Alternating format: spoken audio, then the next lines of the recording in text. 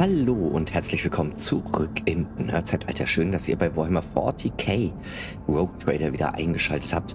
Ähm, ja, wir sind das letzte Mal hier oben gewesen und wurden dann von dem König wohl hier runter versetzt.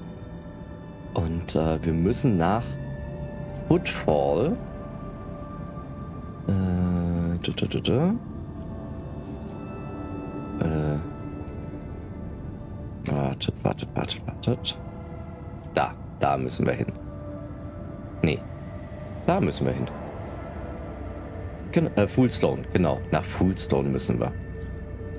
Können wir direkt von hier aus tatsächlich über eine grüne Route reisen.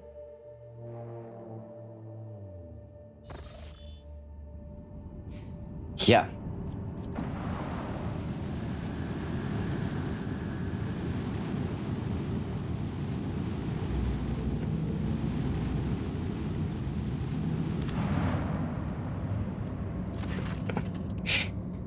Die Drukari überfallen den Planeten und verschleppen Tausende von Bewohnern auf ihre Schiffe. Ähm, ja, wir müssen den Kampf beginnen.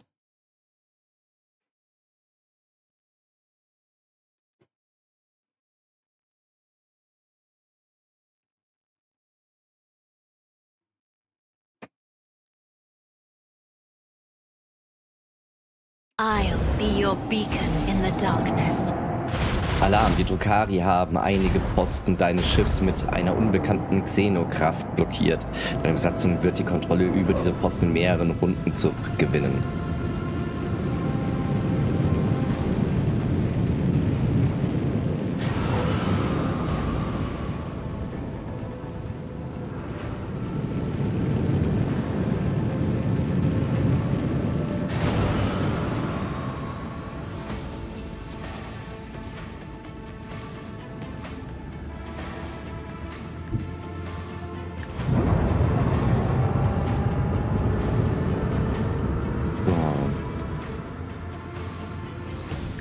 Das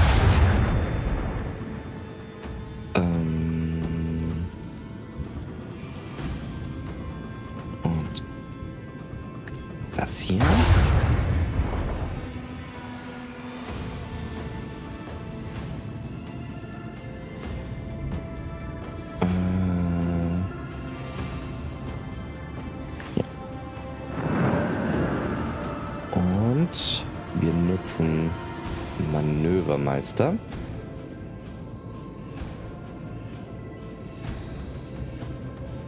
Ähm, wir könnten hier an die Seite.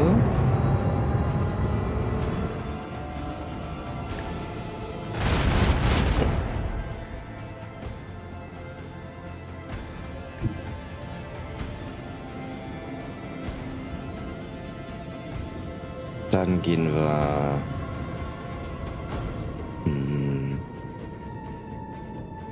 hier hin. Jawohl.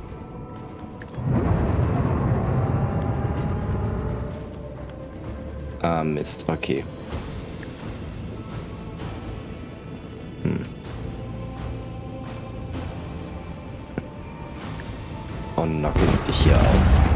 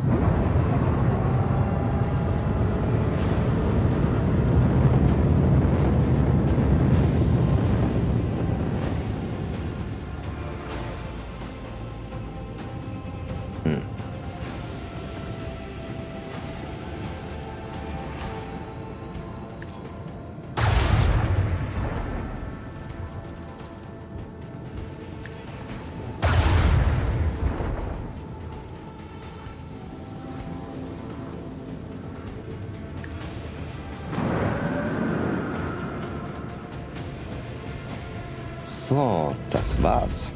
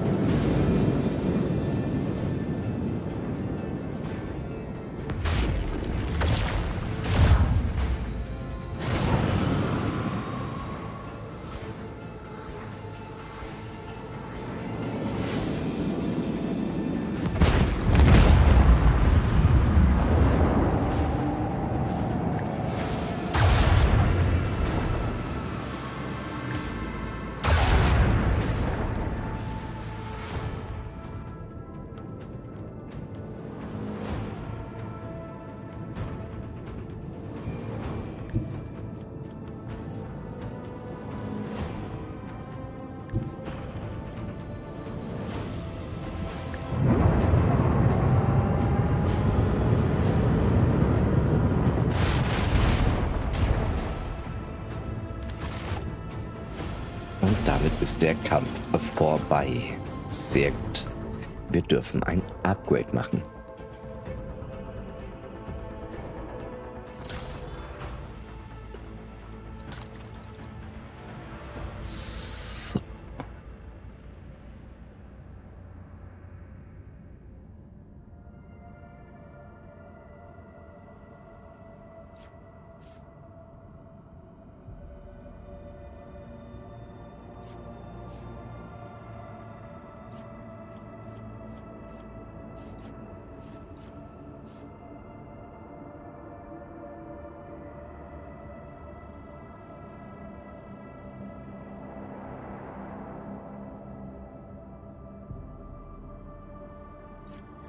Mhm. Wir nehmen.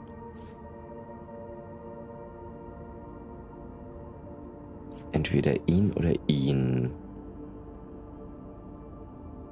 Ja, wir nehmen das hier. So.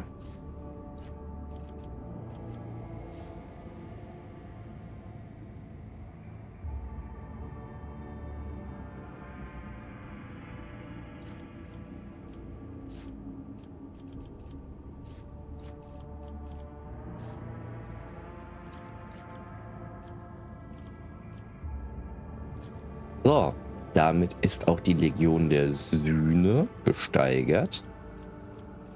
Ja, da gibt es noch ein bisschen was. Okay. Gehen wir hier raus. Und äh,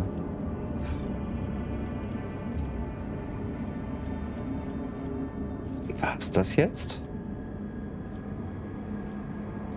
Können wir nicht äh, landen? Tatsache anscheinend nicht. Das ist Ordens des Hammers. Okay. Hm. Dann checken wir mal das Tagebuch. Hm. Falls ihr eine Idee habt, wie ich dieses Problem hier beheben kann, dann gebt mir mal Bescheid. Denn Googlen hat tatsächlich noch nichts ergeben. Ja, äh, wir warten auf äh, Meldung von Dargonus.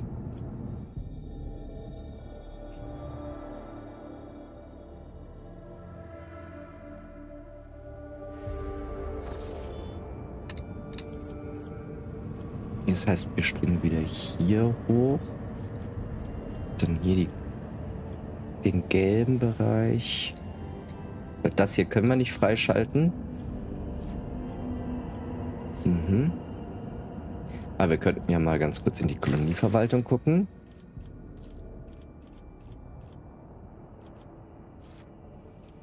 Okay, da ist nichts zu tun. Hier haben wir auch gerade schon geguckt, da ist nichts zu tun. Hier ist auch nichts zu tun. Mhm. Hier könnten wir entweder Inferno oder ungebetene Gäste. Effizienz minus 3 oder Sicherheit minus 3. Die Mechanismen wären schon ganz cool. Hm, wir gucken mal ganz kurz. Sicherheit 3 haben wir. Ja, Effizienz 3 haben wir auch. Hm, dass das nicht bei Bequemlichkeit abgezogen wird. Nun gut. Das heißt, wir nehmen die Sicherheit minus 3. Okay. Die Magus Met Metallurgicus schlagen eine gewaltige Deton Detonation tektonischer Platten vor, um die großen Vulkane des Planeten zum Leben zu erwecken. Schmelzereien innerhalb ihrer flammenden Scho Sch Schlote können Plaststahl von unglaublicher Reinheit produzieren. Die Erdbeben, die tektonische Instabilität und die Aschewolken, die den Himmel von Kiava Gamma für immer verdunkeln werden, sind ein kleiner Preis für einen solchen Erfolg. Das hier wäre... Hm.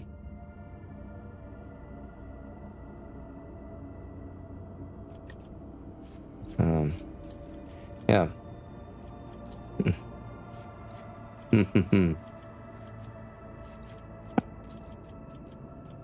Das verbraucht sogar. Okay. Das verbraucht sogar. Würde aber wohl auf die Waffen irgendwie raufzählen. Hm. Okay. Dann werden wir das Inferno durchführen. Jawohl. Gut. Lord Captain, aus den Steinbrüchen von Werbos 6 erreicht uns eine beunruh ein beunruhigender Bericht. Die Sklavenarbeiter haben den Verstand verloren. Sie haben vergessen, wie sie ihre Werkzeuge einsetzen müssen. Sie kauern sich in Gruppen zusammen und starren ziellos in die Leere, selbst wenn sie ausgepeitscht werden. Die Quoten werden deswegen nicht erfüllt. Manche setzen wie besessen ihre Fingernägel ein, um die blasphemischen Symbole in ihre Werkzeuge einzuritzen, in Maschinen, selbst in ihre eigenen Körper. Die Wahnsinnigen unter ihnen haben die Wände mehrerer Minen vom Boden bis zur Decke mit den Symbolen bemalt und sind dann in den Tiefen der Minenschächte verschwunden. Kein, einz kein einziger wurde je wiedergefunden. Die Wärter sehen darin ein bewusstes Spektakel, um von den Ausbrüchen und einer bevorstehenden Rebellion abzulenken.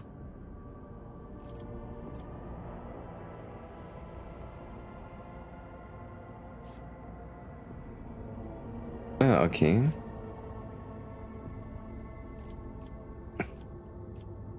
Was sind das für Symbole, die die Sklaven überall einritzen? Es ist schwer, diese Zeichnung so zu deuten, dass sie Sinn ergeben. Unnatürlich runde Kreise durch Linien verbunden. Die Linien sind durch Gruppen von Punkten unterbrochen. Die Muster können manchmal einer gewissen Logik folgen, manchmal sind sie einzigartig. Ich kann Witz von ihnen bereitstellen.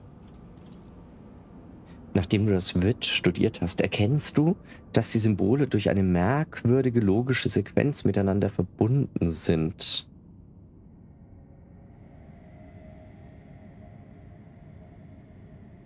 Wir sollten diese Anomalie erforschen. Ich habe das Gefühl, dass hier etwas nicht stimmt. Ich werde eure Befehle unverzüglich an Verbos 6 übermitteln, Lord Captain. Bedauerlicherweise gab es unter den Wärtern des Zwangsarbeiterlagers nur wenige, die zumindest ein klein wenig gelehrt waren. Die meisten der merkwürdigen Gefangenen wurden während des Verhörs schlicht totgeprügelt. Einer der Wärter aber, der eine künstlerische Ader besaß, bemerkte etwas. Die Zeichnungen der Gefangenen waren zu systematisch. Sie konnten nicht einfach wirres Zeug sein. Die sich wiederholenden Elemente der Linien und Punkte waren so einfach zu ähnlich. Wenn es aber tatsächlich eine Geheimsprache war, dann war sie ob ihrer Komplexität und der Unmöglichkeit, sie zu entschlüsseln, gewiss nicht von einem Sträfling entwickelt worden. Okay.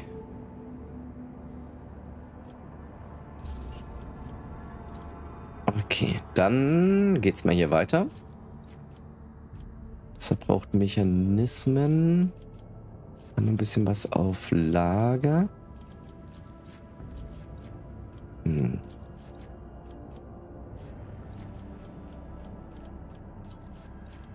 Okay, das macht dann bereits Heiliger Dienst und versteckte Lehre. Mhm.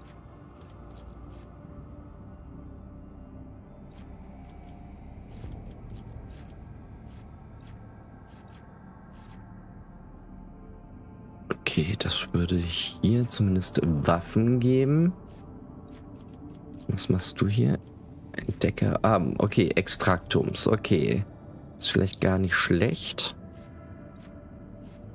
Und das blockiert das.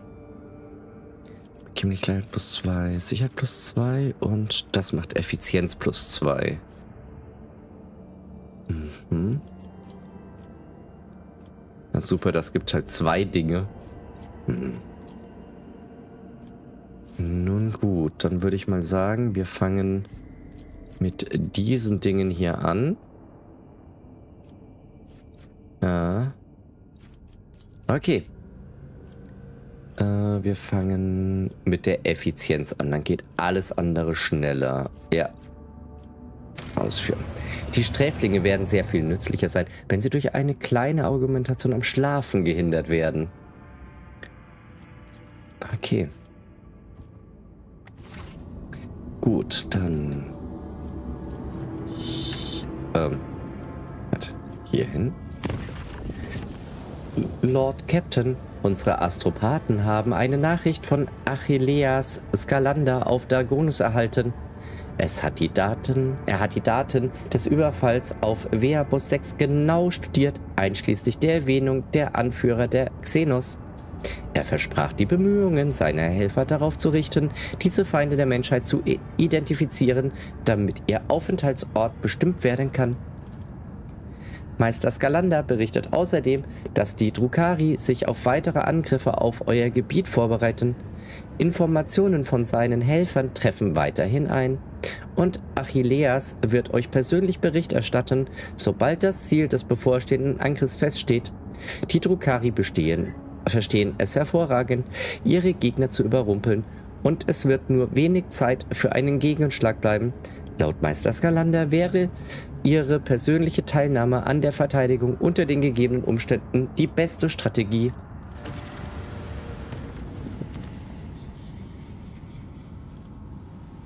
Okay. Jetzt sind wir bei Janus. Lord Captain, hier spricht der leitende Steuermann Ravor. Die Kuh ist wieder am Grummeln, diesmal aber zurecht. Unsere Analysesysteme spielen völlig verrückt. Die roten Roben, Verzeihung, die Tech-Priester geben dem Zorn der Maschinengeister die Schuld. Offenbar verleihen sie so ihre Verärgerung darüber Ausdruck, dass die Kuh nicht gläubig genug ist. Es ist uns gelungen, den Output der Auguren und Auspizien auf dem Schiff größtenteils zu stabilisieren. Ihr solltet jedoch wissen, dass die Maschinen sich in letzter Zeit wirklich äußerst merkwürdig verhalten. Das kann ich bestätigen, Lord Captain. Die Analysesysteme des Schiffs haben sich eine Zeit lang falsch verhalten. Die Kogitatoren konnten keine statistischen Daten generieren, sondern haben bedeutungslose numerische Kombinationen angezeigt. Die Auguren konnten Materie nicht korrekt analysieren. Sie haben sogar Feststoffe für Flüssigkeiten gehalten und umgekehrt. Dank der Bemühungen der Techpriester funktionieren die Mechanismen des Schiffs nun wieder wie vorgesehen. Es gibt noch immer sporadische Berichte über ähnliche Fehlfunktionen aber das sollten wir nun in den Griff bekommen.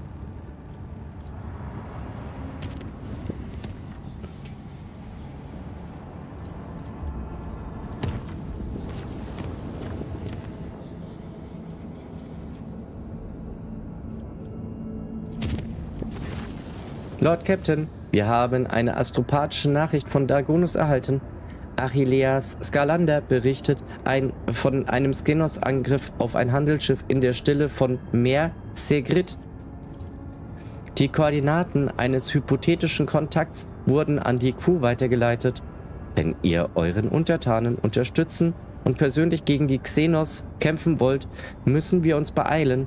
Es ist unwahrscheinlich, dass ein Handelsschiff in der Lage sein wird, den Feinden der Menschheit lange zu widerstehen. Okay, wo ist das? In der Stille von...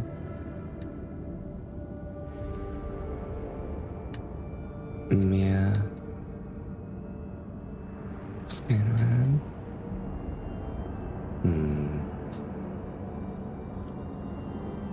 Okay. Wir haben nur diesen einen... Äh, das heißt, wir gucken mal hier ins Tagebuch.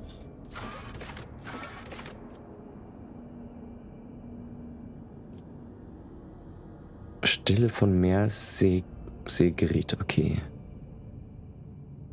Ich würde das halt gerne markieren. Okay. Meer Seegeriet, okay.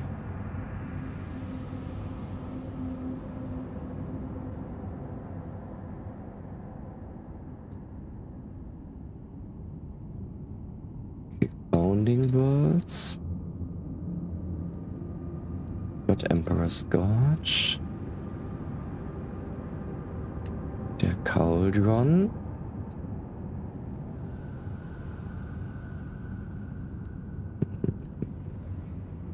Finde es halt irgendwie nicht. Seven Stars. Okay. Dann gucken wir mal hier, ob wir hier die das als System finden.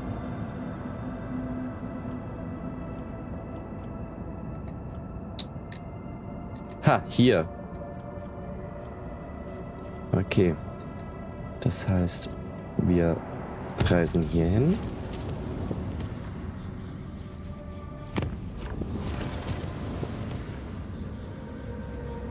Okay. Die Kolonie Kiawagama ist in eine neue Phase eingetreten. Sehr schön.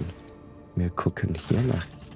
Lord Captain, auf Kiawagama wurde eine merkwürdige Anomalie entdeckt. Eine Reihe von Befehlen als Prozedur 0C definiert, hat sich in die Produktionsalgorithmen gezwängt. Die Diener des Omnisaya definieren ihren Ausführungsstatus als höchst heilig und befolgen ihre Anweisungen daher genau. Innerhalb eines einzigen Zyklus wurde, wurden in allen Manufaktorien Kameras installiert, die mit den Berechnungskanälen der Kogitatoren verbunden sind. Sie bilden Muster, ganz ähnlich dem der digitalen Zellen auf den Maschinengeistern. Die Prozedur 0C befiehlt Magi mit überdurchschnittlichen Psi-Rezitivitätsindex sich in die Zellen zu begeben. Tech-Priester, die ihren Platz in den Zellen einnehmen, fallen in einen glückseligen Datentraum. In diesem lauschen sie binären Hymnen, ganz ähnlich wie denen, die gelegentlich aus dem Warpvox von Q bis Delphim kamen. Die Leistung der Manufaktorien ist zurückgegangen. Viele der Diener des Maschinengottes haben ihre Posten verlassen und fliehen, flehen, um das Privileg Prozedur 0C erfüllen zu dürfen. Doch die Enforcers haben die Kontrolle über die Zellen über, übernommen und halten diese Freiwilligen von ihnen fern. Was wissen wir über diese Prozedur? Könnte das Teil von Delphins, Delphims Vermächtnis sein? Wir können die Quelle des Aktivierungssignals nicht zurückverfolgen und wissen nicht, was es zu bedeuten hat.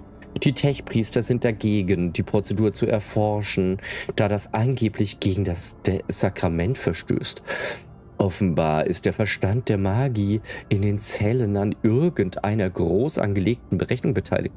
Die Diener des Omnisaya haben das Kogi äh, Kogitationsnetzwerk siebenmal durch Läuterungsalgorithmen verschiedener Schwere getestet und für rein erklärt.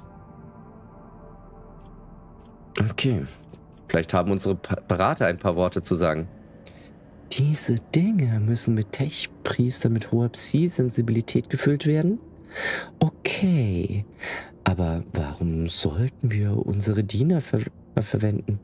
Sucht auf abgelegenen Stationen und Außenposten nach Tech-Priestern, die wegen Unfähigkeit in die Wildnis verbannt wurden. Dort findet ihr dreimal so viele geeignete Kandidaten wie in den Manufaktorien. Psi-Rezeptivität geht selten Hand in Hand mit hoher Rationalität und solche Tech-Priester beenden ihre Karriere oft in der Wildnis. Singen Sie? Es überrascht mich, dass eure Spezies mit menschengemachten Werkzeugen in der Lage war, eine solch harmonische Form der Interaktion zu erreichen. Meine Verwandten setzen ebenfalls psychoakustische Harmonikas ein, um unsere Schöpfungen zu führen. Ich selbst bin keine Knochensägerin, doch ich kann euren Dienern vielleicht gewisse Prinzipien näher bringen, wie das Universum klingt. Dieser blasphemische Vorschlag verstößt gegen das Informationseinheitsprotokoll. Ein Signal, das offenbar aus dem Nichts stammt und höchste Priorität besitzt. Die perfekte Waffe, um den Planeten zu erobern. Sie sollten mit einem Bann belegt werden und ich bin bereit, einen Kader kompetenter Tech-Exorzisten von der Inquisition zu rufen.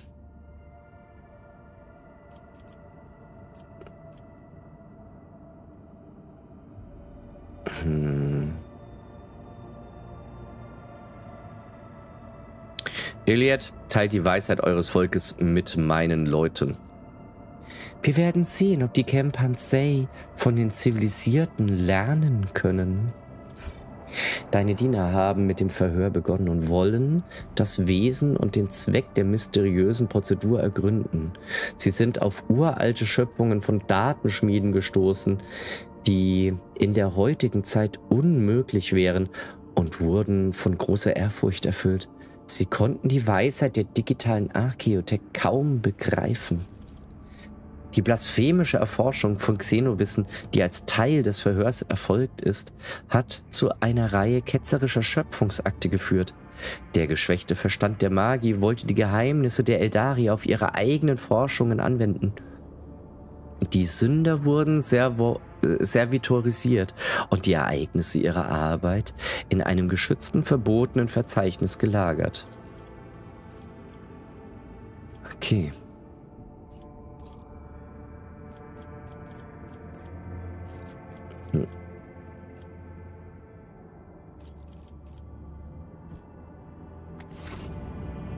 Gut.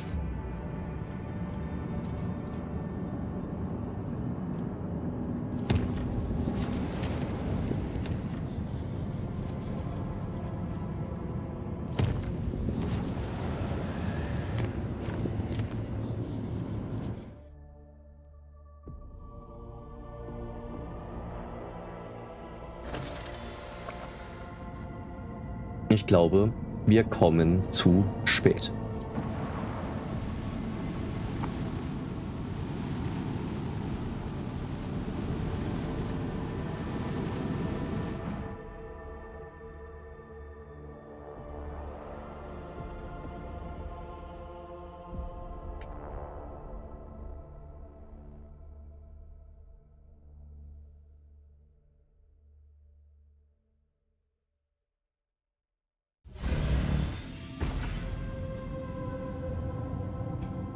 Okay, das sind eine Menge gegnerischer Schiffe. Immerhin haben sie uns im Moment nicht blockiert. Okay, wir gucken mal hier. Das Enter-Kommando.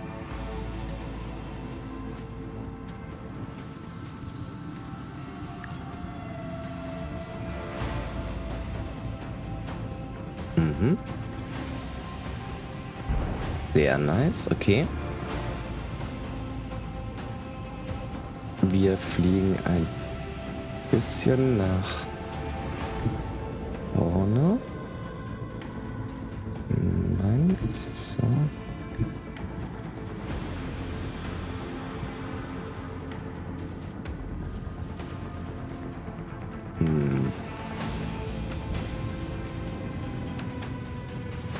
Okay, das könnten wir tatsächlich... So. Und dann machen wir mal einen großen Rundumschlag. Wir erhöhen die Waffenreichweite.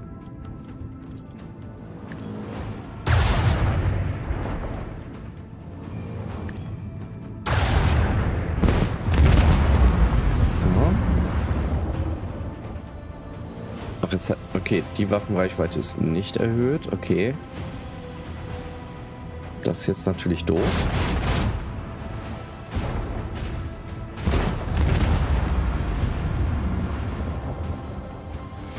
Aber ich kann ja noch hier hin. Jawohl, das geht.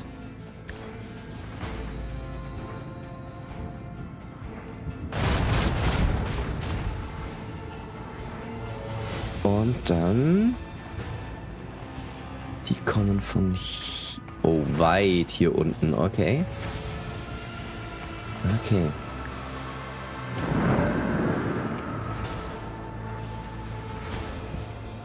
Gut. Und wir drehen dich. Gott.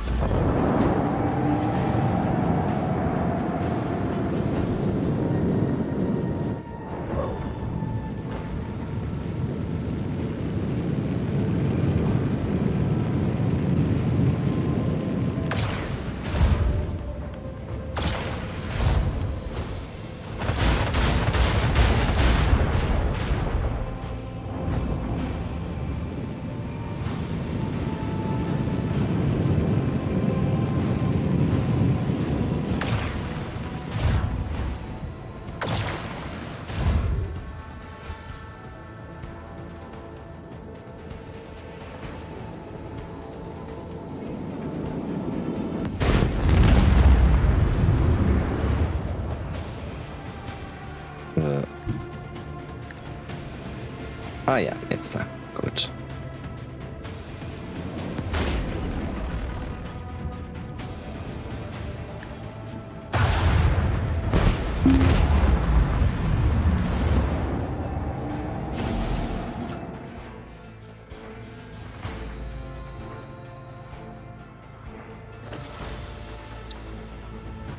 Eine neue Nachricht von Meister Skalander, Lord Captain. Diesmal meldet er nicht einen weiteren Angriff, sondern den angeblichen Aufenthaltsort eines der Xeno-Anführer.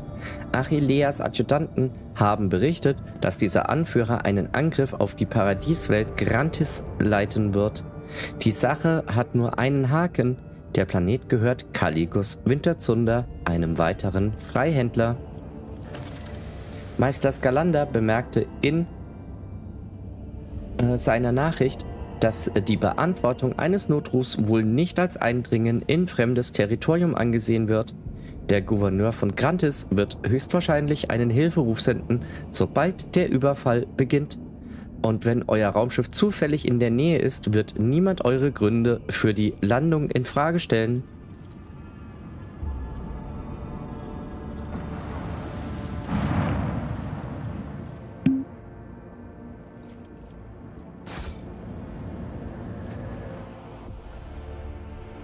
Schauen wir noch, wo sich Grantis befindet.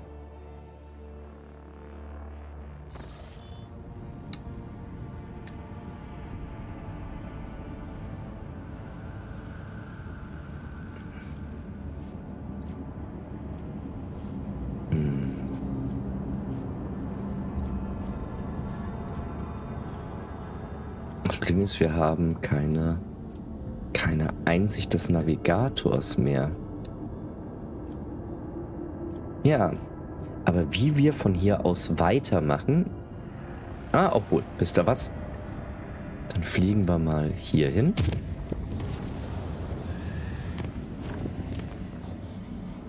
Und wir fliegen hier hin. Den Forster des Schiffs haben die Offiziere informiert, dass auf dem Deck mit dem Astropathenkamm eine merkwürdige insektenähnliche Kreatur erschienen ist. Das Wesen wurde zerstört, doch einige Tage später dachte man wieder an den Zwischenfall, als einer der Astropathen den Verstand verlor und sich kreischend über mörderische Kopfschmerzen beschwerte.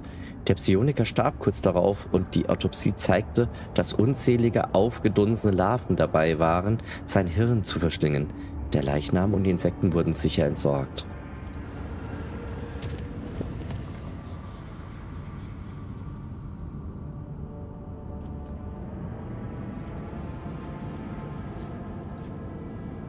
Okay, wir reisen noch hierhin. Und dann bedanke ich mich fürs Einschalten, für Däumchen hoch und dass ihr mich auf dieser doch sehr, sehr coolen Reise durch das Warhammer-Universum begleitet. So verbleibe ich, euer Sven. Ciao, ciao.